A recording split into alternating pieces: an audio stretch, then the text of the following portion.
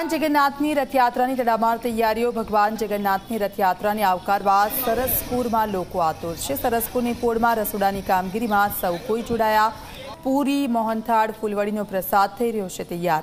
આવતીકાલે નગરચર્યાએ આવતા ભગવાન જગન્નાથ તેમના ભક્તો અને સાધુ સંતોના સ્વાગત માટે સરસપુરમાં તૈયારીઓને આખરી ઓપ આપશે.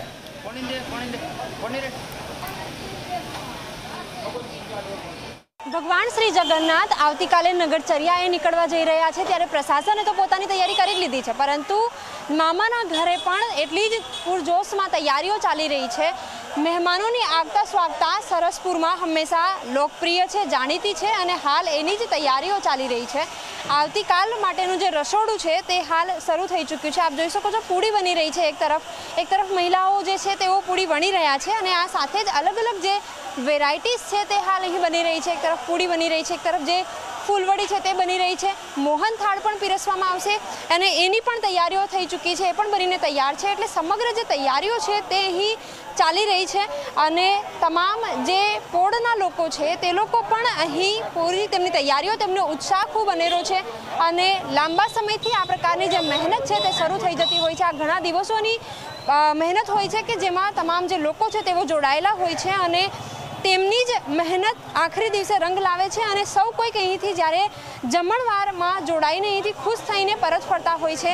પોળના જે આગેવાન છે એમની સાથે પણ વાતચીત કરીશું. એમને પણ પૂછીશું કારણ કે તૈયારીઓનો જે દોર છે એ ચાલુ થઈ ગયો છે. કેટલો ઉત્સાહ આવતીકાલ માટે? આવતીકાલ માટે ઉત્સાહ તો કેટલો બધો. ભગવાન અમારે મોસાળામાં આવે છે. લોકોને આનંદ તો થાય ને, એટલો બધો ઉત્સાહ હોય છે તો લોકો જઈ રહીને થોડા નારા ચાલુ જ હોય છે લોકોને બોલવાના અને આનંદ અને મોજ લેતા હોય છે બધા. બિલકુલ, ઘણા દિવસોની મહેનત હોય છે અને દાન પણ એટલું જ આવતું હોય છે.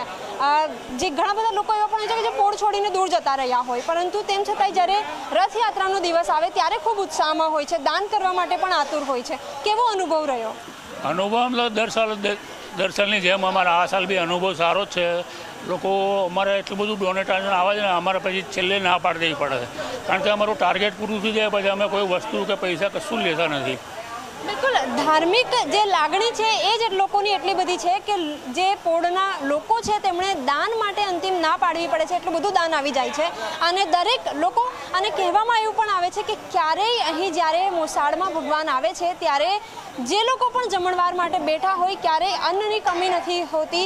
બરકત જ ભગવાન એટલી બધી આપે છે અને હાલ એ જ ઉત્સાહ અહીં દેખાઈ રહ્યો છે કે સૌ કોઈક આવતીકાલના જે મહેમાનો છે, ભક્તો છે, તેમની માટે સૌ કોઈક અહીં તૈયારીઓમાં જોડાયા છે ને ઉત્સાહ પણ એટલો જ છે. કેમેરામેન શૈલેષ બગડા સાથે સપના શર્મા, ઝી ચોવીસ કલાક, અમદાવાદ.